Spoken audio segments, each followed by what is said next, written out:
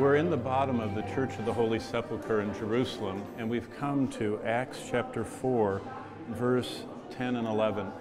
The stone which was rejected by the builders has become the chief cornerstone. Jesus is the chief cornerstone of the church, but he was crucified next to the quarry of the rejected stone.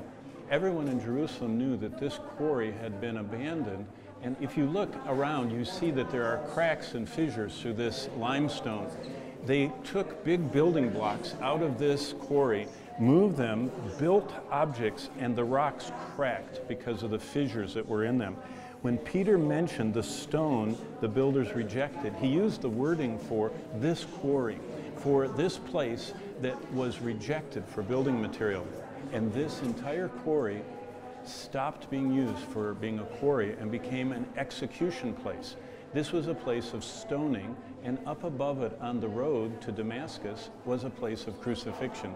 So we're looking at what Jesus did here. Here in Jerusalem, what he did for us is he died on the cross, but he was rejected by Israel. He was the rejected stone.